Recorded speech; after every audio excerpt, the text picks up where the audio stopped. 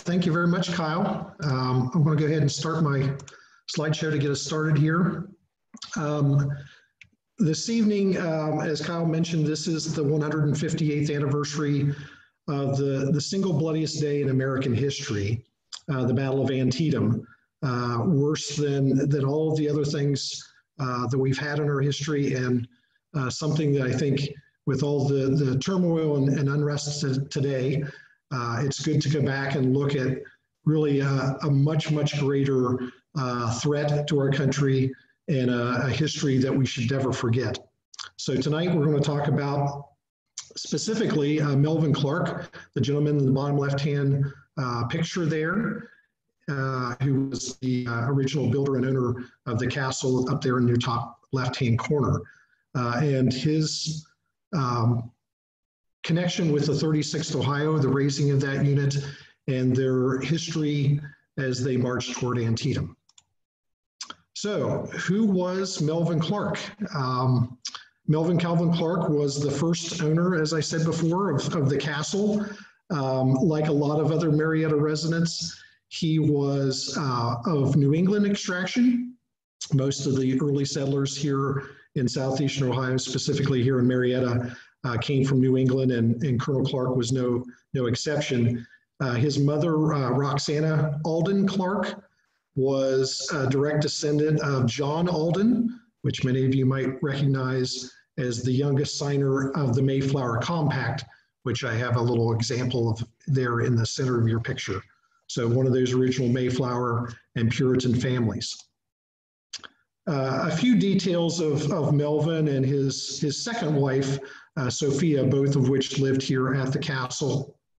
Uh, as I said, he was born in Massachusetts, was a teacher, uh, turned into a lawyer when he moved to, to Ohio, uh, specifically up to the McConnellsville and Malta area in Morgan County, just up the Muskingum River from us. After his first wife died, after having one son, um, he remarried a local girl from just uh, a few minutes south of us in Belpre, uh, Sophia Browning Clarke. Uh, she has a pretty interesting uh, family history as well. Uh, she is um, the great. Uh, she is the granddaughter of the. Um, I'm sorry, great granddaughter of General Rufus Putnam, the leader of the original 48 founders of Marietta, as well as the granddaughter of Colonel Joseph Barker. both of those gentlemen are featured in the, the latest David McCullough book about the settlement of Marietta called The Pioneers. And I would certainly recommend that particular uh, book for your perusal. Uh, the family itself, uh, he had a fairly small family. Uh, again, he had one son from the first marriage who would follow him into the service. Uh, he was a student at the Naval Academy, but but left that um, that institution to come back here and enlist in the service for 100 days. Unfortunately, he was killed, uh, like his father Melvin, uh, later on in the war uh, during a, a, terrible explosion and sabotage incident in City Point, Virginia. Uh, from his second wife, Sophia, uh, he had three children. There's a little bit of details in there. Uh, you can um, see some some very interesting uh, later in life type of things with lynchings and cattle rustling, things of that sort.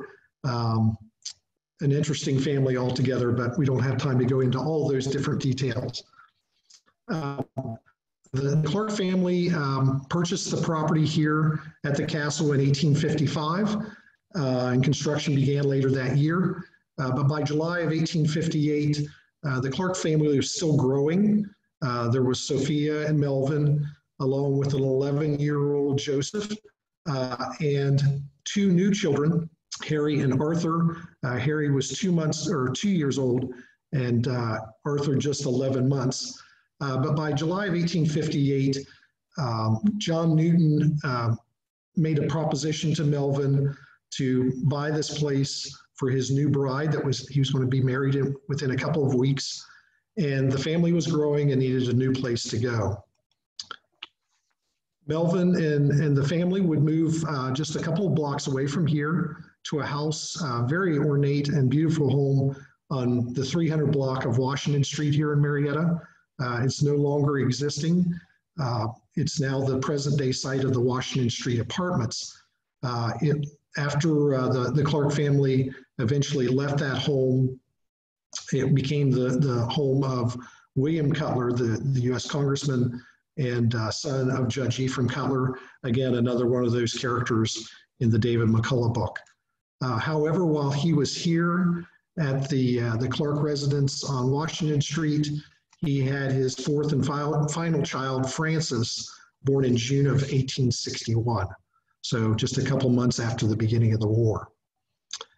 The, the big event, of course, is in April, uh, April the 12th of 1861 with the firing on Fort Sumter. And then less than a week later, um, the state of Virginia, which there's a, an interesting map showing the, the combined states of current, current states of West Virginia and Virginia to, together there in 1861 uh, caused obviously uh, a lot of turmoil here in Marietta because uh, for folks that look it up on the map that don't live here, uh, our neighbors uh, just a couple of blocks from here are, are the state of Virginia in 1861 over in Williamstown. Um, as I said, Melvin uh, was a lawyer, uh, originally a teacher turned lawyer, uh, moved to Marietta, uh, attended the, the First Congregation Church, which you see here, uh, but he was also the city solicitor, basically the law director of Marietta. But in on that same day, on April the 17th, 1861, when Virginia seceded, um, the prosecuting attorney for Washington County, the gentleman in the top left, a man by the name of Captain Frank Buell, uh, a cousin of Don Carlos Buell, the, the famous general of the Civil War, uh, who grew up in Lowell, just about 20 minutes outside of Marietta. Um, he and his uh, first company of men, called the Union Blues, met in the church. Um, and uh, as the home news, the local newspaper described the occasion, it was a most affecting scene which our city has never beheld. Family and friends of the volunteers gathered on the Commons, which is Muskingum Park today, in front of the Congregational Church. Mothers and sisters with tearful eyes were there to take what might be the final leave of these young soldiers as they boarded the steamer Lizzie Martin and headed up the Muskingum River. Uh, before embarking, they were presented with a silk flag sewn by the ladies of Marietta, uh, and a very patriotic speech was given by Melvin Clarke, the local lawyer, which was responded to by Captain Buell, who earnestly pledged that the flag would never be disgraced. As a side note, uh, Captain Buell uh, would lose his life at the Battle of Freeman's Ford just before the Battle of Second Bull Run. Uh, just a few days later, uh, there was a great alarm here in Marietta, as this newspaper account uh, will detail. A letter was written to uh, Governor William Dennison up in Columbus, talking about a, a group of rebel troops that were rumored to be on their way to our neighbors, uh, just about 20 minutes uh, drive south of here in Parkersburg, which was Virginia at the time, which was the main railroad depot for the B&O. And uh, as a member of the local militia, uh, Melvin Clarke, as you see at the bottom of the screen, uh, on Major General Hildebrand's staff, uh, wrote off this letter imploring the governor to send troops to um, protect not only the railroad, but protect the people of Washington County. Um, that commander, his commanding officer at that particular time was Jesse Hildebrand, who some locals might uh, recognize. He uh, would go on to become a colonel of the 77th Ohio. Uh, at the age of 62, he enlisted um, and, and served with that unit at the Battle of Shiloh and defended uh, the Shiloh Church, for which the battle gets its name. Uh, their um, wonderful heroic actions there at the, at the Shiloh Church helped really to save the career uh, of uh, future Union generals and, and household names of Ulysses S. Grant and William Tecumseh Sherman by holding out for a couple of hours against overwhelming odds so more troops could be brought to the forefront.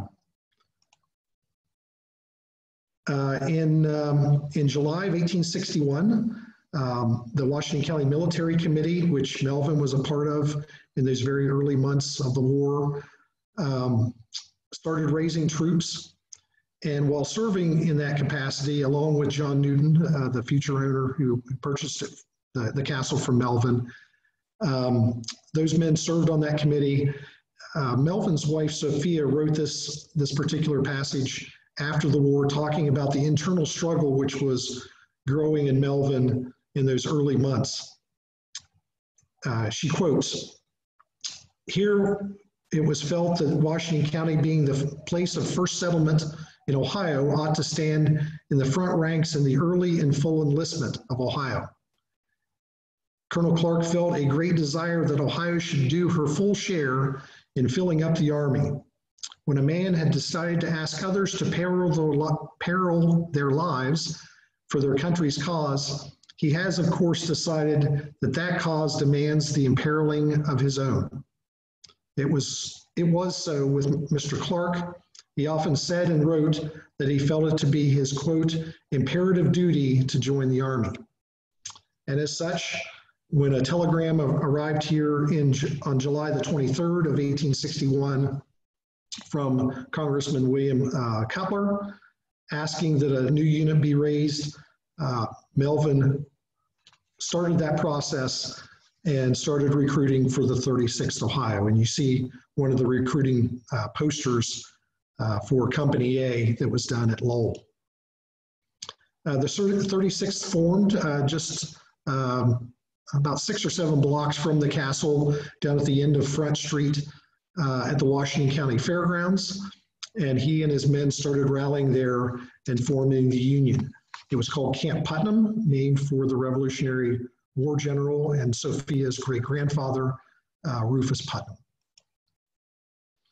Very early on, uh, as a man of, of great knowledge and, and um, education, uh, but little military experience other than the militia, Melvin decided to uh, pull in a Harmar soldier uh, named Benjamin Fearing, who was a veteran of the First Battle of Bull Run, who had come back to Harmar and back to Marietta, uh, and tapped him as the acting, acting adjutant to help drill and train these raw troops and uh, give some uh, added experience to the, recruiting, the, the recruiting process. Where's it up here? Okay. So the 36 uh, trained there for uh, a, a, very short while before moving just downriver again to Parkersburg that I referred to earlier in what's now West Virginia, drawing from Frank Leslie's illustrated newspaper in August of 61. Uh, it's kind of an interesting uh, view of Parkersburg with the, the large, um, heavily packed steamboat pulling up to the wharf uh, loaded with troops coming to uh, be posted there at uh, at Parkersburg and this large building here, which was the railroad station depot with the flag atop of it, became the headquarters uh, that Melvin Clarke moved into. Uh, when they eventually moved on from there to their duty stations, uh, they were, the, the, residents of Parkersburg were not, I, I regret to say, um, sorry to see them go. Uh, there were a number of incidents in town, uh, particularly involving alcohol and as a result, um, a temperance supporter eh, of Mr. Clarke's uh, background uh, confiscated all of the liquor in town in Parkersburg. Uh, it's a very long story and something for another day, but a very amusing uh, thing today to look at. Not so amusing for the residents of Parkersburg. Uh, just a quick uh, background on some of the men that would join the cause of the 36th. I, I think of, of all the research I've done here, certainly some of the best led and, and some of the, the strongest uh, men and, and uh, citizens of Washington County were recruited into the 36th Ohio. As you see on the left, uh, Hiram Fosdick Devol of uh, Waterford uh, fully financed the raising of his 100 men company of Company A and joining uh, James Gage Barker, the grandson of Colonel Joseph Barker, to help recruit men from the Devola and Lowell area just outside of Marietta. Um, Devol would go on to lead the 36th in the latter part of the war as both colonel and eventually brevet brigadier general.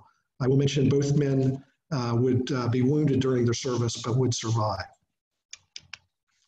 Uh, and, and, really, um, some of my favorites, uh, the brothers, uh, Captain Jewett Palmer on the left and his brother John on the right, both from the lower Salem area, about a 20 minute drive north of Marietta in Washington County. Both were very staunch abolitionists. Uh, their father was an Underground Railroad conductor in the lower Salem area, and uh, were Jewett, especially as the captain, was very outspoken in the cause, um, was very heavily involved in politics after the war, and eventually became the mayor of Marietta. Uh, the gentleman in the, in the, middle might look familiar to a few of you. Uh, that is William Lloyd Garrison, who is a cousin to the Palmers, uh, the uh, very radical anti-slavery advocate and the uh, publisher of The Liberator, the anti-slavery newspaper. Uh, after the, the unit under Colonel Clarke, again, he was lieutenant colonel at the time, left Parkersburg and headed farther south down toward the Charleston, West Virginia area. many of the officers, including Clarke, really needed um, and requested a military man of, of long experience to join their unit to lead them into battle.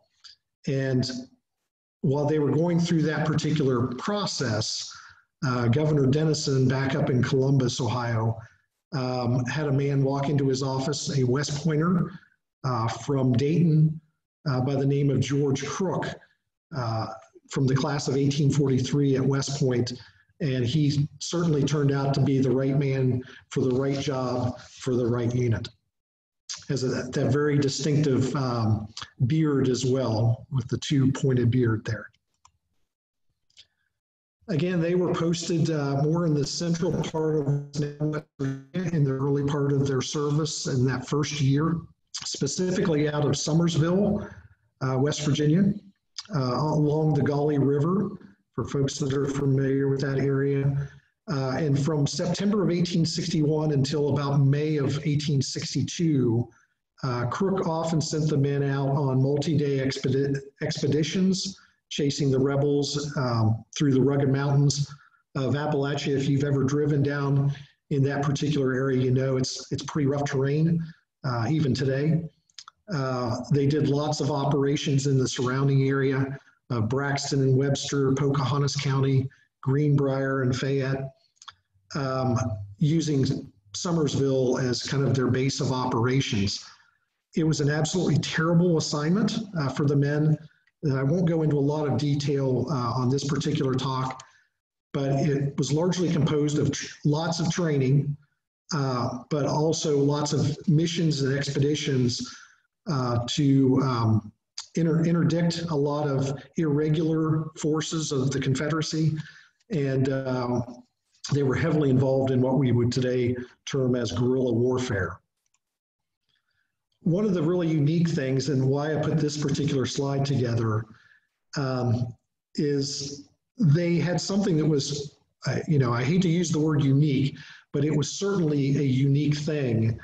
Uh, everyone uses the word, uh, overuses the word, but this was certainly a, unique structure that was built by the men of the 36th Ohio. While most of the, the Civil War soldiers during the winter would go into winter quarters and not do a whole lot, including drilling on a daily basis, the 36th Ohio was kind of a, a glaring exception to that rule. Under Colonel Crook, he wanted to have these men more highly trained.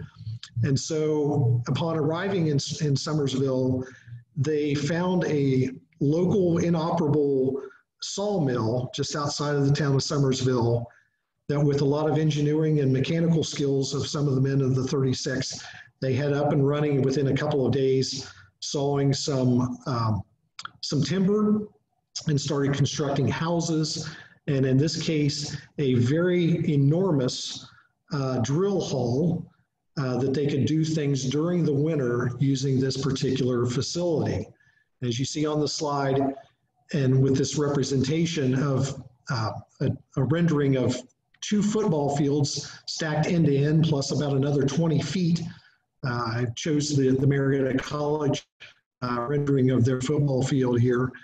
Um, it was 740 feet long. By 33 feet wide, so about the end of the numbers on a football field to the hash marks uh, for football fans out there. And uh, this enormous uh, drill hall would get about 400 men stacked shoulder to shoulder from one end to the other, 400.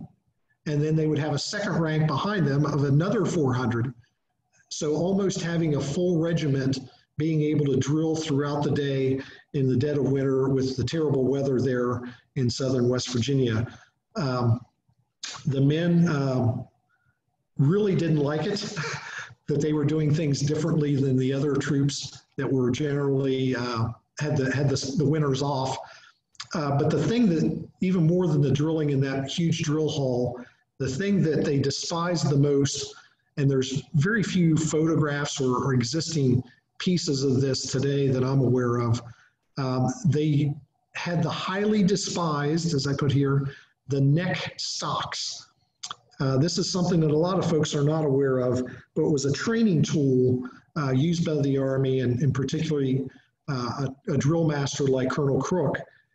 Uh, you would put these leather stocks around your neck. It's like a very wide dog collar, and it prevents you from looking down. So why would they wear these? You might ask. Um, it prevents you from looking at your feet as you're marching and doing maneuvers. It keeps your head up so you can see your surroundings, see things that are happening in front of you. It also gets you used to the movements of the men, both in front uh, and in back of you when you're doing maneuvers. Uh, it was a loath loathsome experience, as many of the men uh, described in terms that I can't uh, repeat here today uh, as a, a, family friend friendly program we have here.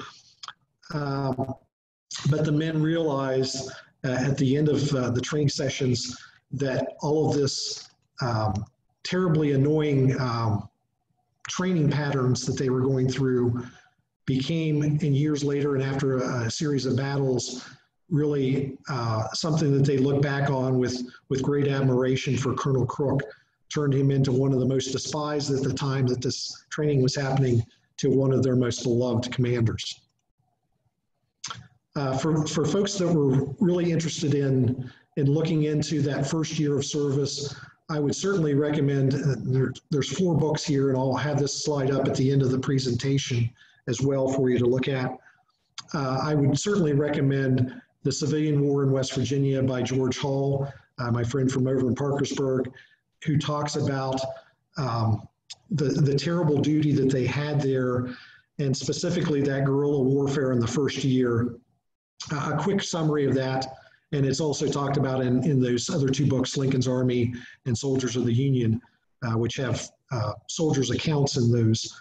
Um, that irregular warfare uh, involved uh, flat out murder between these irregular troops that were killing civilians and uh, sniping at the, the 36th and other troops in the Summersville area and the surrounding counties. Uh, bushwhacking, as they called it. And they would arrest these men, would send them off to, and there were a couple of women as well, they would send them off to jails and uh, detention facilities in the north uh, only to find out that the civilian and military authorities would not hold them and send them right back uh, back to uh, Summersville and the surrounding areas where they would continue their uh, sniping and murder and chaos uh, activities. Uh, it didn't take long for that to um, change the warfare and specifically Colonel Crook's attitude, attitude toward that to where he would start looking the other way when different events would happen and um, unofficially sanctioned, sanctioned some of those um, unmilitary like uh, tactics to, to get rid of some of these forces. Um, particularly, uh, Captain Jewett Palmer, again, that staunch uh, zealot abolitionist, if you will, uh, a man all in for the war uh, effort to uh, abolish slavery and uh, put down the rebellion. As a result, a lot of those irregular forces, when they were captured and taken prisoner, would have a series of accidents on their way back to camp and on their way back to detention, uh, falling off horses and breaking their necks, uh, trip falling across streams and, and either drowning or hitting their heads on rocks. Um, but after a, a series of uh, dead prisoners, uh, most of that uh, irregular activity and chaos uh, either ceased or, or, was reduced pretty substantially. As a result, um, they started mo moving on to more um, regular type of activities. And eventually their very first battle at Lewisburg, uh, what's now West Virginia, on May the 23rd of 1862, um, after almost a year of irregular fighting, uh, they had their first shoulder-to-shoulder uh, knockdown drag-out fight. Uh, about 1,600 men under the overall command of Colonel Crook, who commanded a couple of different regiments. Uh, about 1,600 of them faced off outnumbered uh, against roughly 2,200 battle-hardened veterans of General Harry Heth, um, a veteran of the last couple of years, was going into West Virginia and uh, went to do battle just outside of Lewisburg. Uh, just after 4.30 a.m. on the 23rd of May, uh, they drove in the Union pickets of the, the 36th, specifically Company C, just a few miles east of Lewisburg. Uh, they sent out Company G, Jewett Palmer's unit, to reinforce the pickets along with a couple of other units. And um, the late war unit to be brought up to attack uh, the 36th fighting on the left of the line under Colonel Clarke as the overall commander of the unit, uh, with the overall command of both units under uh, Colonel Crook. Um, the the right-hand unit, the 44th Ohio, attacked the Confederates. Uh, the 36th, um, kind of an interesting side note, attacked the, the 22nd Virginia Infantry, the Confederate unit, under the command of Colonel George S. Patton, uh, the uh, grandfather of the famous World War II general. Uh, after just um, a short engagement uh, with, um, with a lot of fortitude, climbing over fences and firing as they went, using that training that they learned over the winter, they uh, pushed the Confederates back. They charged up a hill and eventually uh, pushed the Confederates off the backside of the hill on the outskirts of Lewisburg. Um, about 90 minutes after the initial start of the battle, and after about 30 minutes of, of fighting with the entire unit, uh, the Confederates were routed from the field. Uh, the casualties of that engagement were, were pretty varied, anywhere between 40 and 80 killed, uh, wounded about 60 to another 100, and uh, somewhere between 100 and 150 captured. Only 13 men of Crook's command uh, were killed, um, 53 wounded, and seven were captured. Uh, unfortunately, uh, these men new to battle, uh, when they captured the position, started picking up some souvenirs to the great consternation of Colonel Crook, which prevented a much greater victory than he had hoped. Uh, when all was said and done, uh, they had captured about 300 small arms, 25 horses, and four artillery pieces one of which had been used previously by the British Army uh, during the American Revolution that was captured by the colonial uh, forces at the Battle of Yorktown. Um, at the end of the battle, uh, it was about 6.30 a.m., uh, Colonel Clarke and the men of the 36th uh, turned around and marched back into the town of, of Lewisburg victorious and just in time for breakfast. At, uh, at some point during the, um, the service, uh, I'm not sure exactly when, uh, a gentleman who actually worked here at the castle, this gentleman, Nimrod Burke, uh, who was employed by Colonel Clarke here at the castle and other times uh, during his, uh, his stay here in Marietta. Nimrod Burke was, was brought on as a scout. Again, African Americans were not allowed to join the regular service. Um, in a, in a regular capacity, but um, he was brought on as a scout for Colonel Clarke as they started heading over into uh, Virginia. And that was a, uh, a very smart thing to do by Colonel Clarke and the other men because Nimrod Burke was born and raised as a free man on the Leo Plantation, which today is the site of the Bull Run battlefield. Uh, so when they were sent over to join the Army of the Potomac, um, along with, we believe, Nimrod Burke, uh, uh, used as a, uh, a, a, spy and scout uh, for that particular purpose. When the, the 36th arrived, they had the perfect man who had a lot of knowledge, who left that area at the age of 16 to move to, to Washington County with the rest of his family. So he had a lot of knowledge of the plantations, the families, and the trains and roads that they would be using. Um, the 36th Ohio was the first unit of their uh, of their entire force that was sent toward Manassas uh, Junction. Uh, just as the train carrying the 36th uh, passed Stonewall Jackson's troops, uh, Stonewall and his men cut the railroads and any hope of other further reinforcements to arrive with Pope's army. As a result, the 36th was by themselves when they arrived in Manassas.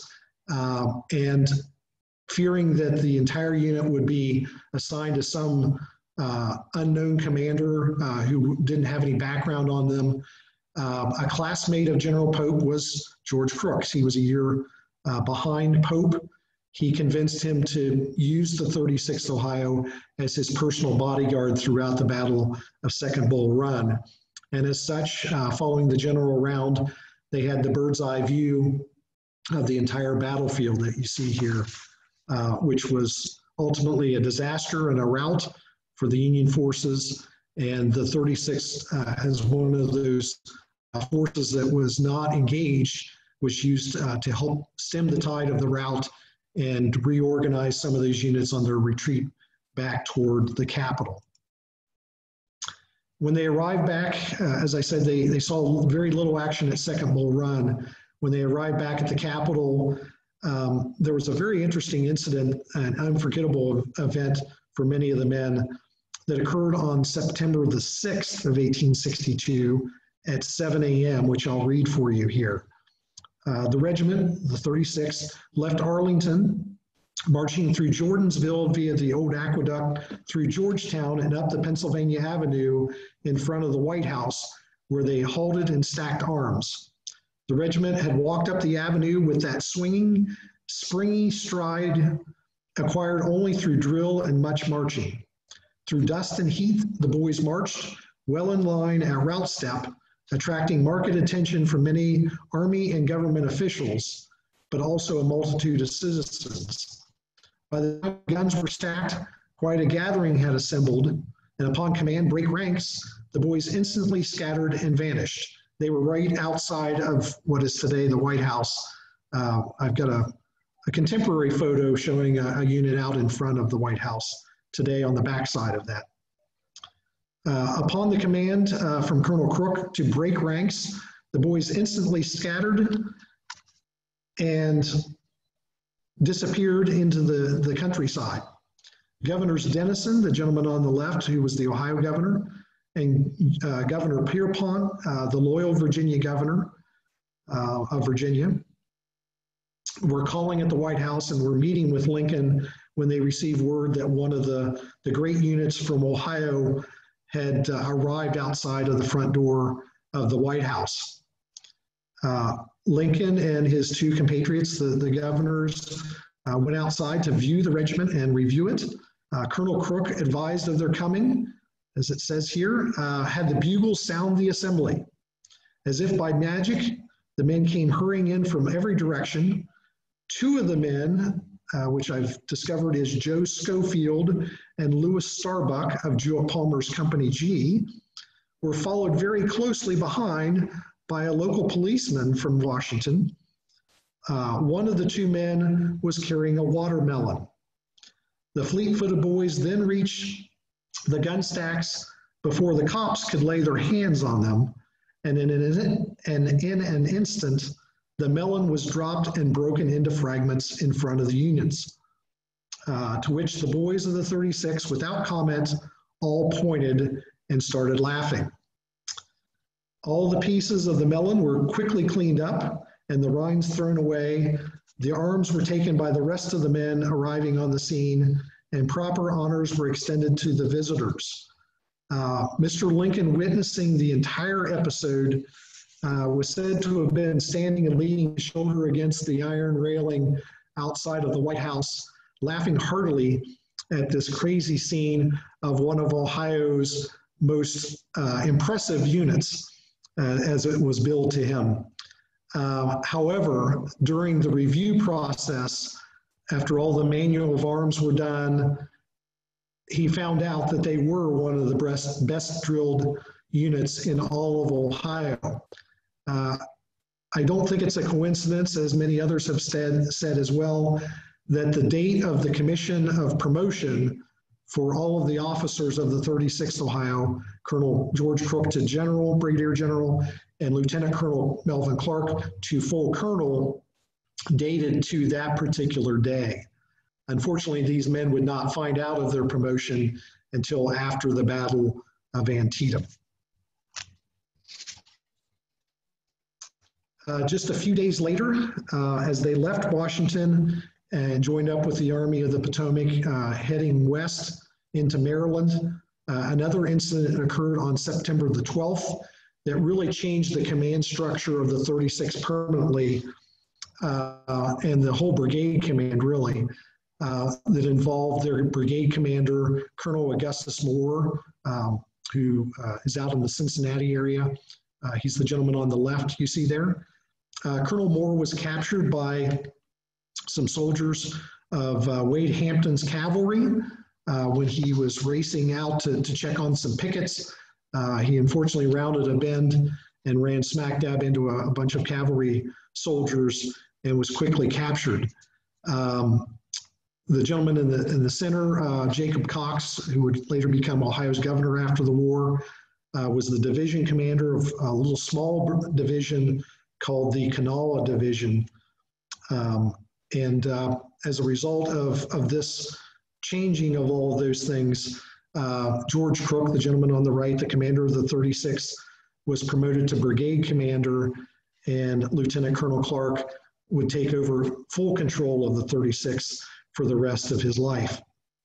Um, one of the, uh, the details of that particular incident uh, just a couple of days later, on the same day of the start of the Battle of South Mountain on September the 14th, which we'll talk about here in just a second, uh, on that morning, um, Colonel Moore was released. He was given his parole and sent back to Union, line, Union lines. Uh, he met up with his commander, uh, uh, General Cox, who's there in the middle. And again, he's under strict rules of, of um, of gentlemanly conduct when you're paroled uh, to not uh, detail a lot of information about the Confederates. Uh, however, when he apparently saw one of the other local brigades heading toward uh, one of the gaps in South Mountain, he replied to his commander, uh, Where is Scammon's brigade heading? And when uh, Cox replied that he was heading toward Crampton's Gap. Moore immediately replied, My God, you need to be careful. Again, realizing the, the conditions that he had for his parole, he didn't say anything more, but that warning was all that was needed for Cox, who immediately sent for reinforcements, and those were immediately sent up um, and, and, reinforced uh, the entire Union Army heading toward those three gaps in South Mountain. When they arrived at South Mountain on the morning of, of September the 14th, um, Clarke and his 36th Ohio uh, fought alongside five other regiments. Uh, they were at Fox Gap, uh, the center of the three gaps in the South Mountain, the Catoctin Mountains there, uh, just three days prior to the Battle of Antietam. Uh, they were following up on the Lost Order uh, for folks that are history buffs and Civil War buffs in general. Even for those that aren't, I would recommend you read up about the Lost Order number 191, um, the order of uh, battle, the battle plans basically of Lee's army that was lost and found by the Union soldiers who quickly tried to capitalize on that and attack Lee's very separated army. Um, the 36th and those other units uh, fought at Fox's Gap in the, in the uh, as I said, uh, the center part of the mountains, the South Mountains, uh, about six o'clock in the in the evening, uh, they were under a very severe fire. Uh, Clarke and his men then coordinated an attack along with a, a, another lieutenant colonel uh, pictured here on the left of the 23rd Ohio Infantry of another, of another brigade, Ewing's Brigade, uh, who was on their left.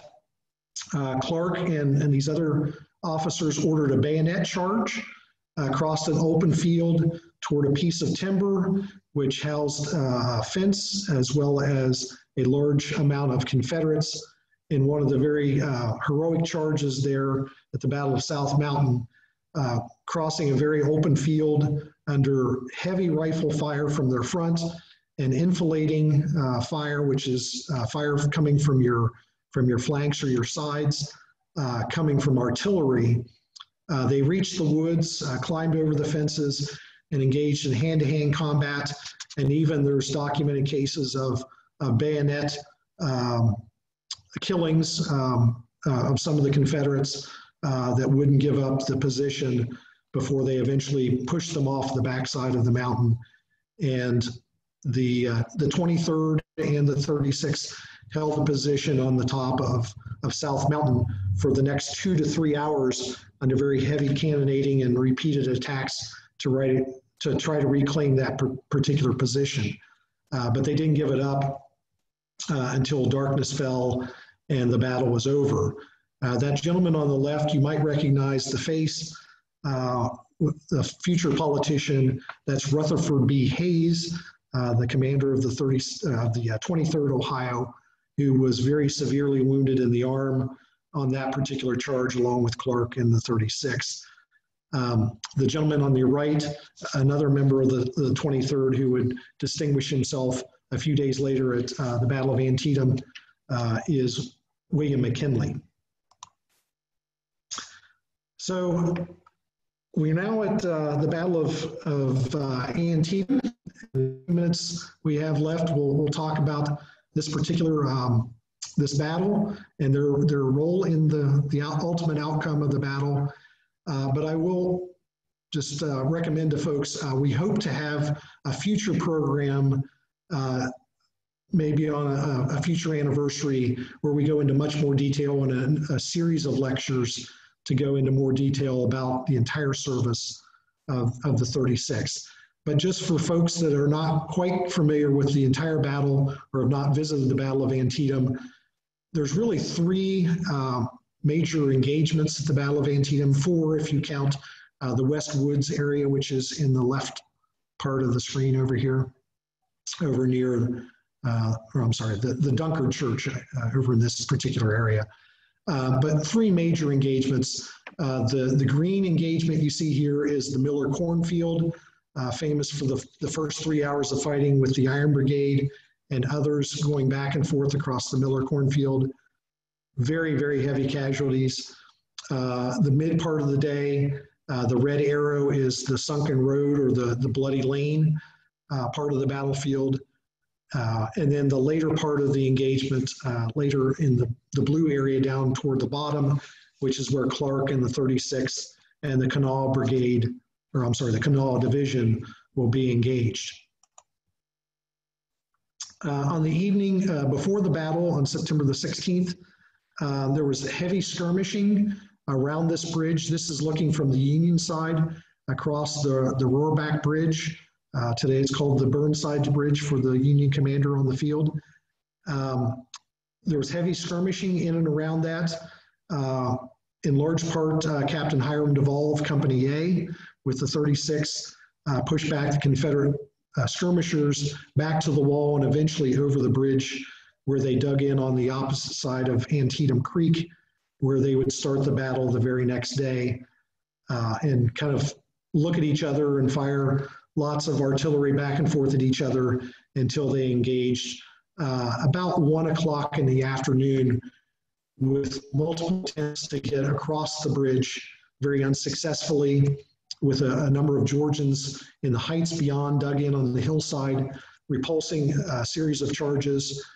Uh, Crook, to his great credit as brigade commander, uh, was able to get artillery properly positioned to put maximum fire on the hillside and brought his other men of the brigade, minus the 36 who was held reserve, um, brought him up to this stone wall that you see here in front of you and in fact got a couple of companies from one of the units of the brigade across the creek uh, just to the right of this particular picture to start firing down the lines toward the, the, the Rohrbach Bridge. Uh, just as he had secured the position and was ready to attack and carry the bridge, uh, he reserved that honor for the 36th Ohio. And to their great uh, consternation, all the, the heavy lifting and the, the terrible, deadly work to secure that uh, glory for the 36 to be the first ones across the bridge as they started down the hillside. Uh, two units who had been delayed, uh, the 51st Pennsylvania and the 51st New York, charged across from the left part of the screen here, the left part of this particular picture, and dashed across to great casualties, but great, um, great heroism and great uh, uh, memories um, for those men of the 51st Pennsylvania and 51st New York. Capturing the bridge, and as many of the men will complain, stole the glory of Crook's brigade. Um, they will ford, uh, some of the, the units will be carrying the bridge and the, the heights beyond. Some of the units of Burnside's uh, corps will, will cross the footbridge at this red arrow, but Crook and his his brigade will will pass the little ford just up to the river or up, up the creek, I should say, uh, the Antietam Creek will cross where a couple of those other units had gone through uh, previously, including the 36th. Uh, they will then work their way along the creek bank and up this, this rise uh, toward the town of Sharpsburg in the distance. Again, this is another uh, view from the Confederate side showing the stone wall with the green marker there. Um, again, they, they would cross a little bit to the left of this particular picture and continue the attack. Uh, I've done a lot of research on the, the final um, outcome of the battle and particularly the, the mortal wounding of, of Colonel Clarke in the, the last attack there at Antietam. Uh, just to the right of this wall, um, there's a, a, roadway that you see in the distance, uh, but there's a roadway to the left of this particular photograph that is kind of the high water mark of the attack of uh, the entire Union left flank as they headed toward the, the town of Sharpsburg. Uh, up here in the, in the distance is what's now the National Cemetery uh, on the outskirts of, of Sharpsburg.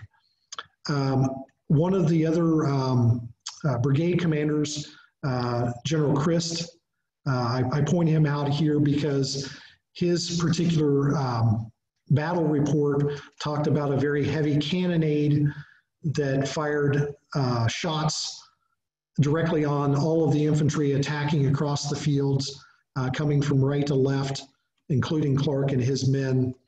Uh, Clarke was hit by an unexploded uh, case shot, which I'll show you here at the end of the presentation. We have another real authentic uh, Civil War artillery shell, obviously defused, uh, but I'll show you that at the end. That's part of our collections here at the castle. Um, but uh, he was killed during the final attack. Uh, as Crook described it, uh, he, he, described uh, Colonel Clarke's death in this way. About 2 p.m., the charge came, and the Union troops found themselves in a hail of bullets. We were met with such a hail of musketry bullets, with several batteries dealing death and destruction amongst our ranks, that it would seem nothing could survive it. After crossing, crossing the crest of the hill, which would be the crest uh, off to the right of this particular photograph, there's a swale in between the two. After crossing the crest of the hill, the troops descended into a hollow where they found themselves in a crossfire from the enemy. Here, Colonel Clarke was struck by a solid, by a case shot, tearing him almost in twain. He died instantly. We were but a short distance apart when this occurred, and the enemy in this field were as thick as blackbirds. Uh, Crook immediately, even though he was the brigade commander, took charge of the, the 36th and continued the charge. Uh, many accounts, there's probably about nine different accounts that I've, I've discovered talking about Colonel Clarke's death. All of them vary slightly, some saying he lasted as long as five minutes, Um, Crook's account said he was killed instantly, uh, but the shell, most agree, took off both of his legs and he bled out very quickly. Uh, a lot of the accounts will say um, that his final words uh, were, "Get down, boys," uh, as they as the shelling started getting very thick and waiting for the the order to charge. And then after he was hit, "Go ahead, boys, I am killed." As they started heading up the hillside and approaching the wall that you see here in the photograph. Um, under the cover of darkness, uh, after the, the attack failed, um, we think from a, a, group, I think is probably battery of uh, artillery from Fredericksburg, Virginia, that will fire the, the fatal shot based on the, the rounds that many of the men described and the position and their own reports, um, firing directly down the, the length of the line toward Clarke here and Christ and his men to the right. Um, after the the Clarke is killed and the, the attack fails up along the wall, which is near to present day Branch Avenue. Uh, just in the nick of, of, time, the entire Confederate reinforcement group under Stonewall Jackson, this big, large uh, red arrow, will arrive on the left flank of the Union attack and will start uh, crumbling the line and rolling it up from one end to the other. Uh, they immediately halt the attack and start retreating back to their original position on the hillside, about in this particular position of the blue arrow, if you, if you see that here. Uh, they didn't leave their fallen commander behind. Uh, men will grab a blanket, uh, we'll, we'll put Clarke in the blanket, and we'll carry him back to the position which they will hold for the rest of their night. Um, they will stay and sleep there on the battlefield uh, the night of the 17th. Again, the bloodiest day in American history, uh, resting amongst the dead and wounded, uh, both Confederate and Union, until relieved the very next morning. If you go there to the battlefield today, um, you'll see this particular marker for the 36th Ohio. On the back side of that, it will state uh, very near this spot, just over the, the rise here in front of you, um, is the, the mortal wounding uh, of uh, Colonel Melvin Clarke. Uh, the 36th will be fairly um, uh, lightly wounded and, and light casualties compared to the bloodbath that was Antietam. Um, they had one officer and one man killed. Obviously, that man killed was Lieutenant Colonel Clarke. Um, and another man um, they had 21 wounded and two men missing who uh, I believe were probably mortally wounded. Um, Hockenberry and, and, uh, and, and another around the, the hospitals after the battle. Again, 23,000 casualties. It shocked the nation. Um, Mathew Brady very famously uh, recorded these uh, photographs, which were distributed and really uh, woke up the nation as to the, the bloody consequence of this war. This one taken along the, uh, the Hagerstown Pike, uh, up in the, the Miller Cornfield area where Rufus Dawes and the 6th Wisconsin, the Iron Brigade, uh, Dawes becoming a, uh, a local soldier with that group. Um, it really shocked the nation and realized everyone there uh, how bloody the, the conflict was going to be. Uh, speaking of Dawes, I'll, I'll, finish the program with this. Uh, the word of Colonel Clarke's death was not received uh, of his death at Antietam for, for three days. Uh, on, the on the 20th of September of 1862, uh, word reached Marietta, and it reached it in a kind of an unusual and unfortunate way. Uh, Stephen Newton, the brother of John Newton that owned the castle here, who was also a member of the military committee, came and knocked on the door of the lady here, uh, Sarah Dawes, who lived uh, right across from the uh, Marietta College campus as it, as it stands today. Uh, she was a fellow member of the First Congregational Church with the Clarke family and, and good friends with uh, both Melvin and his wife. Uh, Mr. Newton knocked on her door and immediately told her, I have bad news. Well, those that are familiar with the Army process of informing loved ones, when you see that uh, chaplain or in this case, the military committee member knocking on your door saying he has bad news, her first reaction was her son Rufus, Rufus is dead. To which he immediately apologized uh, and said, No, but Colonel Clarke is. And I want you to go with me to talk to his wife.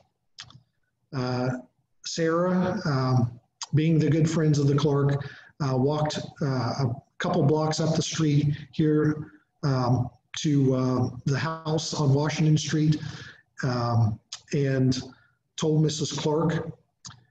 Um, she described it this way the reality to her was truly terrible. She goes from one fainting, fainting fit into another. How terrible is war? Unfortunately, she didn't hear another for another three days that her own son Rufus, who saw the bloodbath in the Miller cornfield, that he had survived. Sophia, uh, Melvin's widow now, at the age of 26, uh, moved her family back to Belpre to take care of her blind mother. Unfortunately, two years later, her stepson, Joseph, also went to serve the same cause as his father and lost his life, as I mentioned earlier, uh, outside of City Point, Virginia. Um, Sophia eventually would move on to Mount Vernon, Ohio, to live with her brother and uh, died a broken woman at the age, unfortunately, of 37, to show you the toll that it would take. Uh, Clarke's body was brought back to Marietta with great pomp and circumstance. Uh, they held military rites under the command of his former adjutant, uh, Benjamin Fearing, who had returned from the Battle of Shiloh with the 30, with the 77th and Colonel Hildebrand, uh, and was given a new command, the 92nd Ohio, who would perform all the funeral rites for him in nearby Mound Cemetery. Uh, as an ironic side note, the, the 92nd would join the, the 36th as it was transferred to the Western Theater and would serve with it throughout most of the rest of the war down in Tennessee and Georgia uh, on the march to the sea. Uh, today, uh, on this 158th anniversary of the bloodiest day in American history, uh, the great carnage that should never be forgotten in American history. Uh, we honor Colonel Melvin Clarke, uh, the first owner and builder of the castle uh, that we uh, enjoy and, and, use for educational programming still today. Um, we honor his memory along with 900 others from here in Washington County who remembered are remembered in the civil monument in Muskingum Park in Marietta and I hope that we will never forget. For as our local cemetery, there's a, a marker for the pioneers uh, just about three blocks from where I'm seated uh, at the present moment. Uh, on that pioneer monument, it says, Name pass, names pass away, but deeds live on. And those names like Colonel Clarke and the things that they did for America's country and America's freedom, uh, for their fight to make sure that all men, women, and children are free in this country, those deeds are still remembered today. And for that, I thank you all for joining me. At this point, I'll, I'll be glad to take some questions.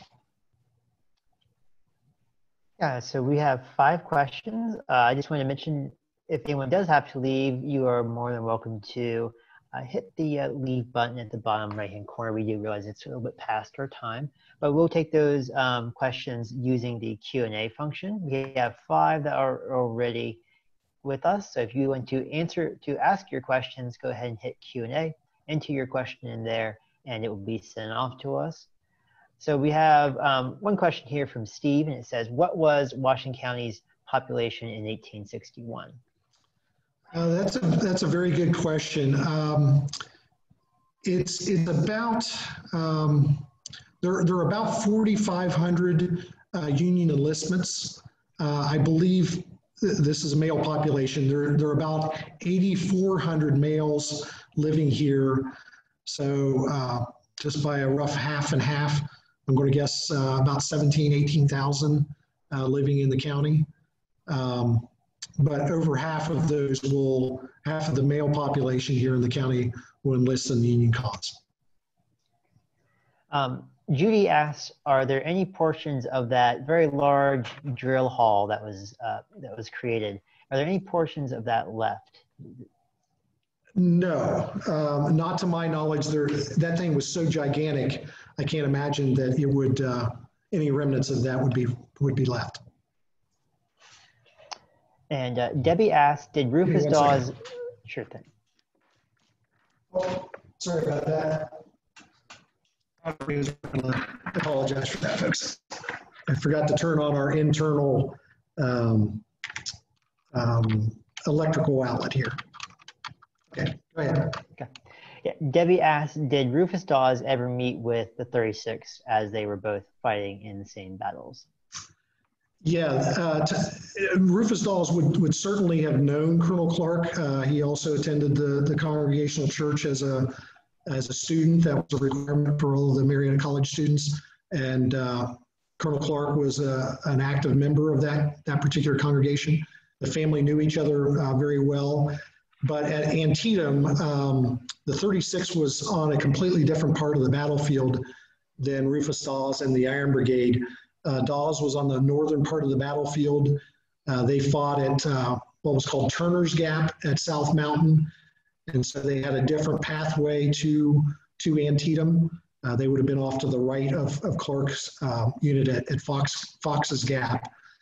And so from there, um, from the South Mountain battlefields, they took two completely different uh, pathways to, um, to cross Antietam Creek and were multiple miles from one another during the engagement.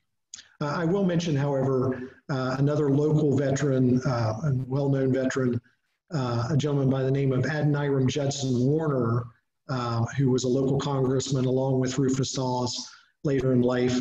Uh, both of those men met for the very first time on the battlefield there at Antietam um, the night before the battle on just outside of the Miller cornfield. Uh, Steve asked if Colonel Clarke was mounted when he was killed. Yeah, I've only found one um, indication. Um, there, there was one report that said he was mounted. Um, and so the other, the other ones either don't say. I always assumed he was we, he was on foot, but there was one report that said he was mounted. So again, if you're riding, you, your your legs would probably be parallel to one another, and uh, coming from left to right, that that shell would have. Uh, all the reports said it, it sheared his uh, sheared his legs off at the upper part of his legs. Not getting too graphic, um, it, he, he bled out very quickly. The, the, the reason I doubt that he was on, I, I have my doubts on, on the fact that he was riding, however, because there was never any mention of him being taken down from his horse or falling from his horse. So I, am leaning more toward the fact that he was um, was on foot.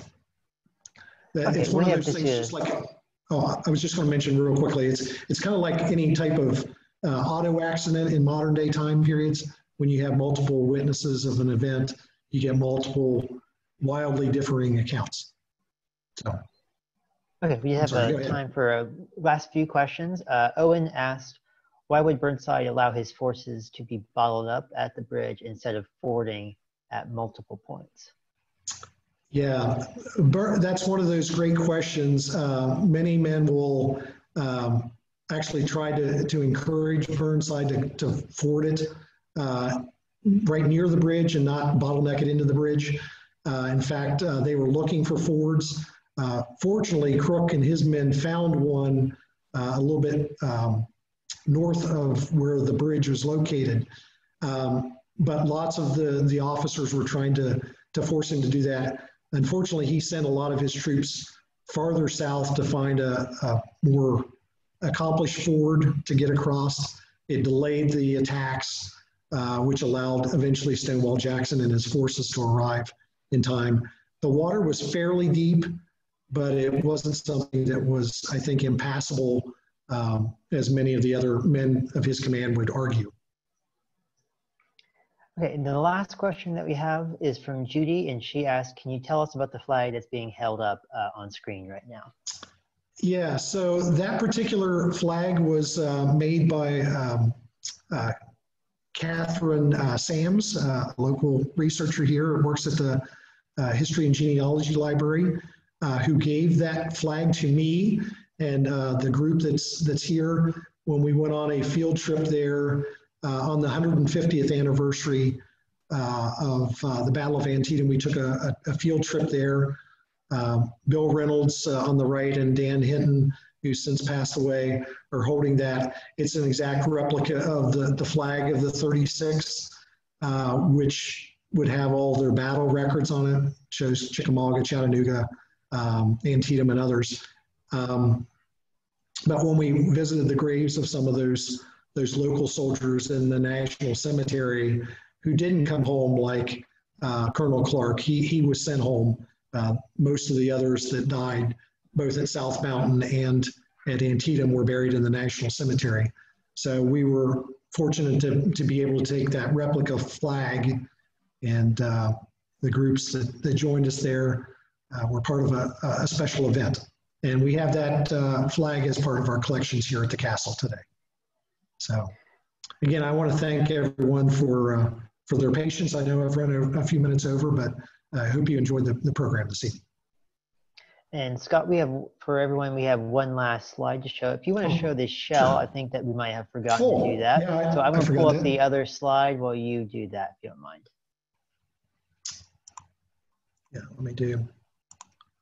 For folks that want to get a, a perspective on how big the shell was that, that killed Colonel Clarke, we also have a true Civil War shell, a 10 pounder, uh, which was in all of the accounts, it said that he was, uh, I think there is one that doesn't say a 10 pounder, but all of them were, were pretty familiar with the type of um, artillery pieces that were shooting at them. So this gives you an idea of how big this is. It does weigh 10 pounds. It has uh, metal balls on the inside of it, but when it contacted Clarke, it had not exploded. Uh, basically a solid shot that went through him. Um, it was defective, but it did its job. Fortunately, only killed Clarke and none of the other men around it, which it was um, intended to do. Okay, thank you, Scott. And just wanted to say thank you to all of us who joined us for our uh, pop-up, our first virtual pop-up talk. Um, we have put into the chat uh, links to make a donation or to, to become a member or renew your membership. Uh, hopefully you enjoyed tonight's talk and might consider doing either or both of those. Um, again, thank you, Scott, for doing this presentation this evening, and we hope everyone enjoyed it. Um, other than that, we will go ahead and close out and hope you all enjoy the rest of your evening tonight. So thank you Yeah, very much, thank- everyone. Thank you, thank you everyone for coming, and uh, I hope you can continue to support us with programmings like this. Thank you.